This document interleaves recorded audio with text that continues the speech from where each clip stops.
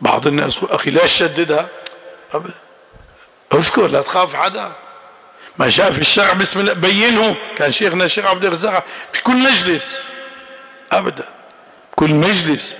لو عالم أخطأ بشيء شيخنا شيخ عبد الرزاق ينصح. لو مجلس في مولد منشد أنشد وأخطأ بشيء هذا المنشد يقول آه الله الله. لا تقل آه الله. قل الله. نين آه الله في في استفهام آه. هذا في صلاته لو قال لو قال آه الله أكبر. ما يدخل في صلاته ما ليس بمصلي. لو في أثناء صلاته ركع قال آه الله أكبر. فسد الصلاة. أه؟ وكل هذا إذا لم يفهم معناها. أما إذا فهم معناها فقد خرج من ملة الإسلام. لو قال آه الله أكبر وفهم أن هذا استفهام خرج من ملة الإسلام. يستفهم عن عظمة الله يقين الله أكبر يقين أكبر من كل كبير كان شيخنا يرشد و وينصح. ما بال الناس اليوم من طلاب العلم أهل العلم يسكتون يسكتون. يأتي هذا يتكلم له كلهم ساكت إلا أنت معناته أنت المخطئ. هيك آخر زمان وصلنا إليه. ها؟ الذي ينطق بالصواب يقال له أخطأت. ليه؟ ما الذي نعم يعني حثهم على هذا القول سكوت هؤلاء؟ سكوت هؤلاء؟ لا هم تكلموا ولا هم أيدوا الحق. رضي الله عن الشيخ متولي الشعراوي قال إن لم تقل الحق آه فلا تصفق للباطل. ينشئ يرشد. والله على ملأ الناس جامع الكويت كان هناك مسابقة في القرآن الكريم كان الذي يقرأ الشيخ محمود درة رضي الله عنه. ويخطئ آه، يقرأ. واحد كان من أهل التحكيم يعني في في في النغم. آه أبو حفص نغم ما شاء الله. أبو حفص ما شاء الله قارئ ونغم حاصل. وهدلاك والله قارئ بس بقى آه، مال للنغم وضيع الحكم التجويدي. قال له أعد الآية هكذا. شو سيدي؟ أعادها مع تضييع لحكم التجويد. والله وين غيرت أهل القرآن؟ على القرآن؟ الناس اليوم عنده غير على المال وعلى الدرهم والدنانير والكراسي غير على الدين؟ ما في.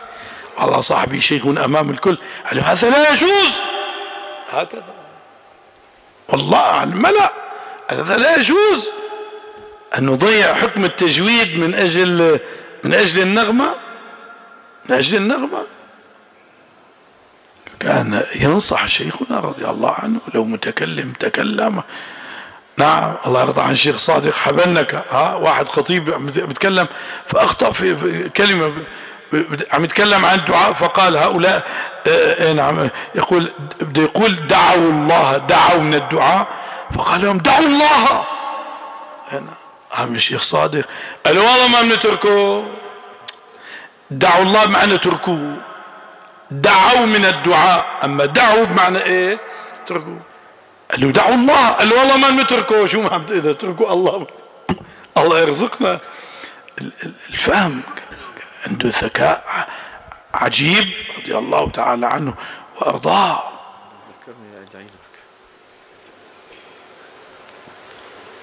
وهذا الذي آه آه نعم يقول لشيخه ادعي لي له ذكرني. حتى أدعو لك. جاء وذكره قال له ذكرني. بعد مدة قال كل ما طلب منك دعاء تقول له ذكرني. قال لك يا أبني أنا شيخك أم شيختك؟ قال له قال شيخ تقول لي ادعو لي. أما ادعي ادعي لي. هي المؤنثة. مخاطبة. ها تقول للمرأة ادعي لي. وين هذا صعبة بيلا خانه مدعي لي. هيك صار. يطلب الرضا. شو سيدي؟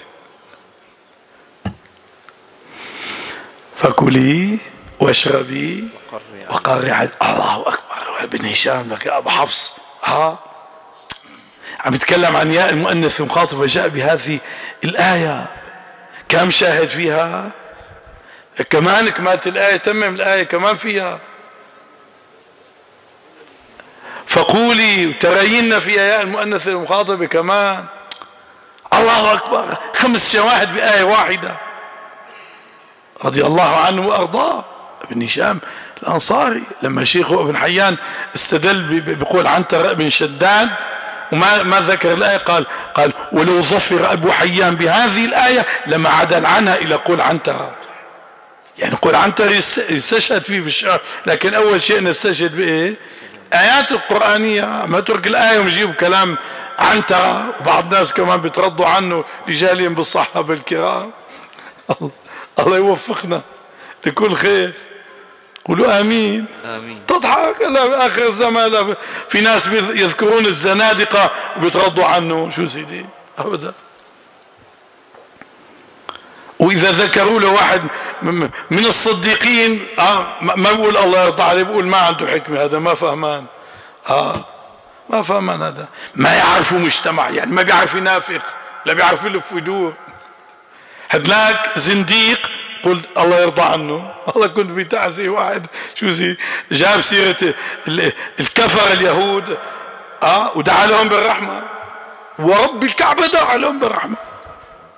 آه لما آه، ذكروا له شيئا من هذا صار بده يلف ويدور. ورحمة خاصة ولا الرحمة العامة؟ خلاص قل أنا أخطأت.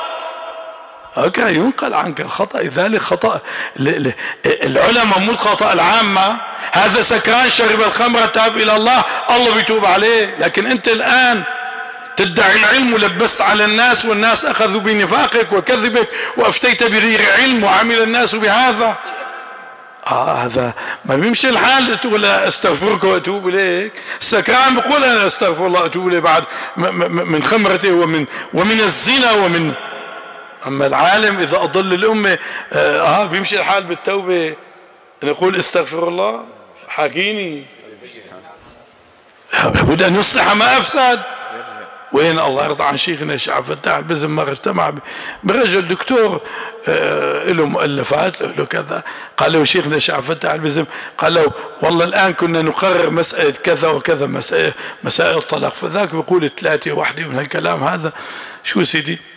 فشيخنا الشيخ عبد الفتاح البزم الله يرضى عنه قال له أنا قلت لهم طيب نحن صلاتنا وصيام كل العبادات الآن ضمن المذاهب الأربعة.